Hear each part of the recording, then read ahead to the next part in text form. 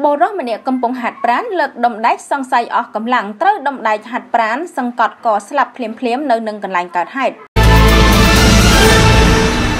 ភ្នំពេញយុវជនម្នាក់វ័យជាង20ឆ្នាំហាត់ប្រាណលើកដុំដែកសង្កត់កស្លាប់នៅក្នុងបរិយាមួយកន្លែងបង្កឲ្យមានការភ្ញាក់ផ្អើលដល់អ្នកជិតខាង ហេតុការណ៍នេះបានកើតឡើងនៅវេលាម៉ោង9:40នាទីព្រឹកថ្ងៃទី4ខែមេសាឆ្នាំ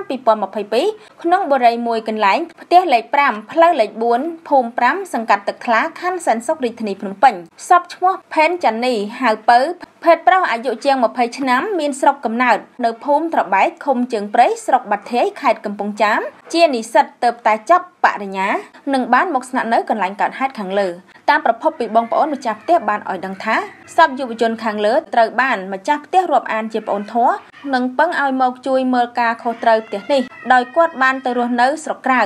ហើយជារៀងរាល់ព្រឹកជនរងគ្រោះតែងតែហាត់ប្រាណលើកដំដែកនៅថ្ងៃកើតហេតុខាងលើម្ចាស់ផ្ទះបានទេ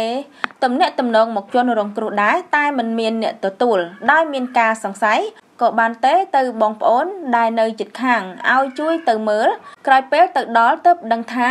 ជនរងគ្រោះបានស្លាប់បាត់ទៅហើយដោយដំដែកហាត់ប្រាណធ្លាក់លើចំបំពង់កស្លាប់រួចក៏បានរាយការណ៍ទៅសមត្ថកិច្ចមូលដ្ឋានចុះមកពិនិត្យនិងធ្វើកសលវិច័យកម្លាំងនគរបាលជំនាញចក្ខុកសលវិច័យបានឲ្យដឹងថាពិតជាស្លាប់ដោយសារដុំដែកធ្លាក់សង្កត់លើពិតប្រកបមែនក្រោយមកសមត្ថកិច្ចមូលដ្ឋានបានធ្វើកំណត់ហេតុរួចបានប្រគល់សពទៅឲ្យក្រុមគ្រួសារយកទៅធ្វើបុណ្យនៅស្រុកកំណើតតាមប្រពៃណីខ្មែរ